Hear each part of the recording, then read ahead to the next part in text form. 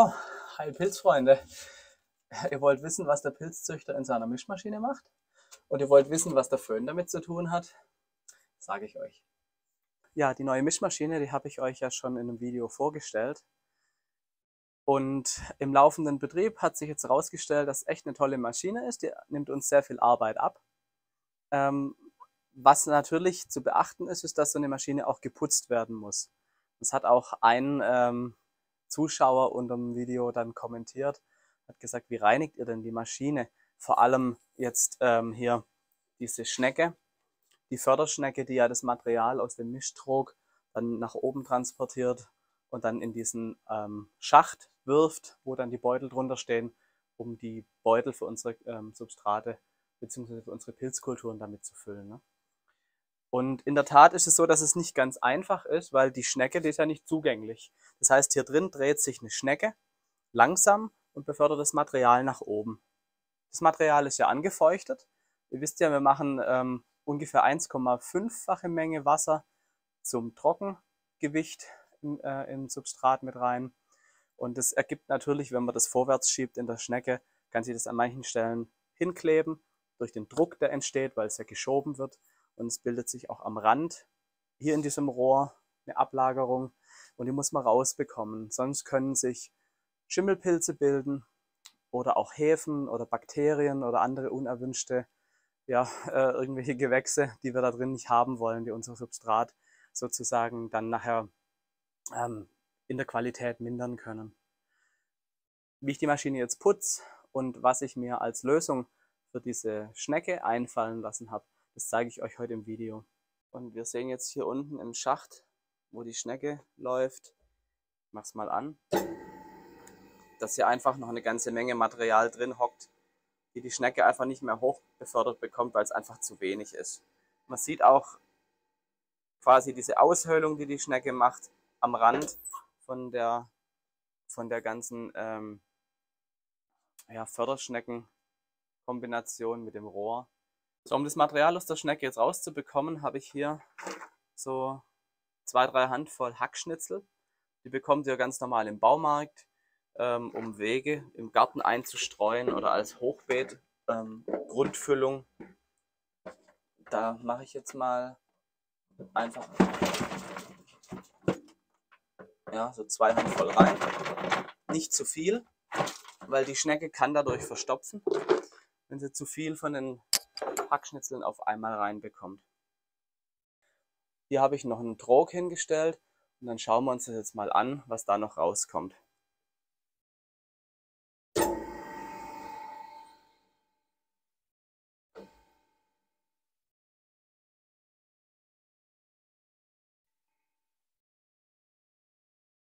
Am Anfang kommt noch nichts oder noch fast nichts und irgendwann beginnt es dann dass das Material kommt. So, jetzt kratzt die Maschine alles frei.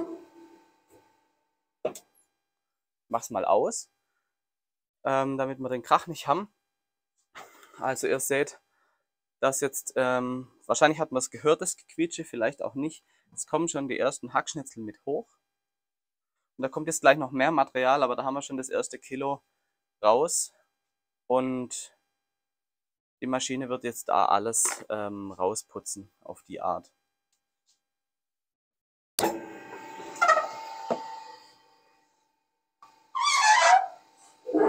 Also da kommt noch richtig was raus. Es quiekt und ächzt ein bisschen, weil natürlich äh, Hackschnitzel in dem Zwischenraum zwischen Schnecke und Rohrwand hängen bleiben und da hochgeschoben werden. Aber ihr seht, also auch für die Größenordnung, also meine Hand ist schon ein richtiger Haufen. Und das Material wäre sonst hängen geblieben natürlich. So, und die paar wenigen Hackschnitzel und die kleine Handvoll Sägemehl, die da unten noch drin liegt, die hole ich einfach mit meinem Nass-Trockensauger, dem Industriestaubsauger noch raus. Und dann kommt der nächste Schritt, dass man die ganze Röhre trocken pusten muss.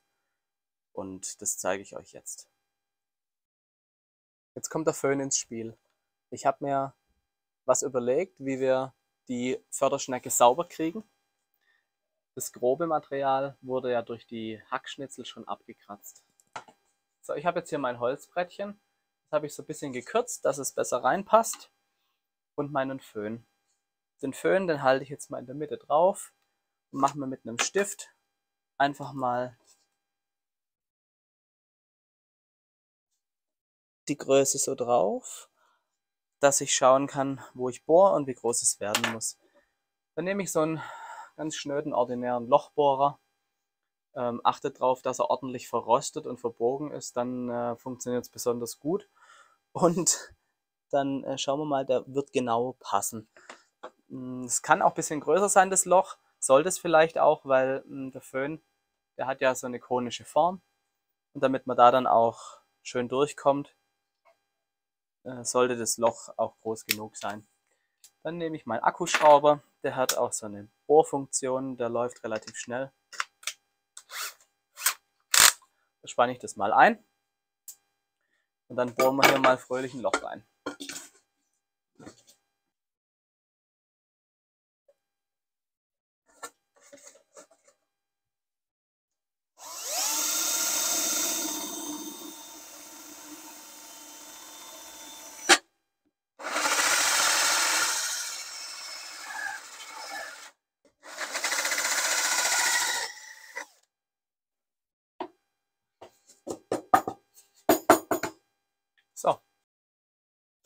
Einmal ein sauberes Loch gebohrt, ohne Grat und ohne alles, gut geworden und das kommt jetzt in die Maschine rein.